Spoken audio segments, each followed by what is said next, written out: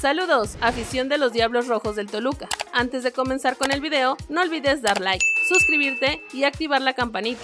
Sin más por el momento, iniciamos.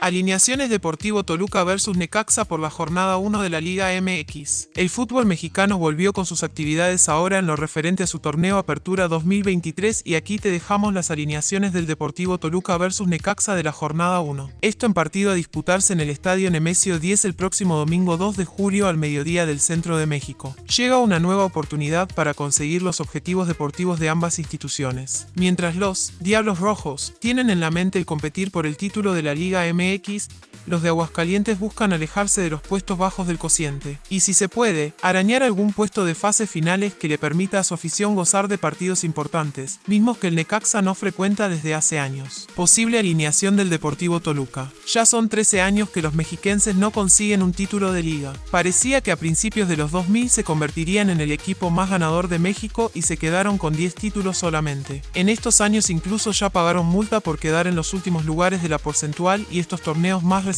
han luchado en la cima del balompié mexicano. Pero ya no hay otra cosa a la cual aspirar que no sea el campeonato. Llega la milésima oportunidad para Ignacio Ambriz será capaz de campeonar con los Diablos. Posible 11, DT Ignacio Ambriz, Thiago Boulpi, Andrés Mosquera, Valver Huerta, Carlos Orrantia y Mauricio Isais, Claudio Baeza, Marcel Ruiz, Jean Meneses y Maximiliano Araujo, Fernando Navarro y Robert Morales. Posible alineación de Necaxa. Por su parte, los hoy dirigidos por Rafael Dudamel se convirtieron en un equipo mediocre en exceso. Lejos de ser una plaza de mucha tradición dentro del balompié nacional, además de contar con tres títulos de liga, torneo a torneo viven para vender. Traen futbolistas buenos y posteriormente los inflan en precios para sacar buenos dividendos. El problema es que con esa fórmula no se genera ninguna valía en cuanto a un proyecto que la gente aprecie y se sabe que solamente aspiran a colarse en los últimos puestos de las nuevas formas de clasificación de la Liga MX. Posible 11, DT Rafael Dudamel, Rafael Ramírez, Fabricio Formiliano, Alexis Peña, Van Rankin y Agustín Oliveros, José Esquivel, Vicente Paaggi, Brian Garnica y Heriberto Jurado, Edgar Méndez y Jesús Alcántar.